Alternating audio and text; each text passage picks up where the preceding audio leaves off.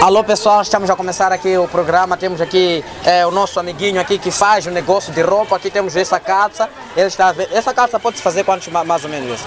Essa pessoa pode fazer 250. 250, ok. Qual é o seu nome mesmo? Celito. Celito. Qual é o negócio que você faz aqui nesse mercado?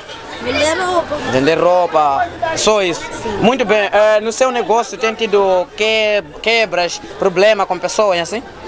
Não. Isso quer dizer que o seu negócio está a andar normalmente como deve ser? Sim. Muito bem. Uh, qual a mensagem você vai deixar para aquelas pessoas que estão lá em casa, não querem fazer negócio como você assim? Já não sei. Não sabe. É, é, nosso amiguinho, você tem quantos anos de idade? 11 anos. É, um menino de 11 anos de idade se encontra no mercado fazer seu negócio de vender calças e roupas diversas. É, é um exemplo que lá o jovem tem de fazer também o igual para não ficar sem fazer nada. É, qual é o seu nome para terminar? Celito. Celito, muito obrigado. Assim termina o nosso programa. Alô, pessoal.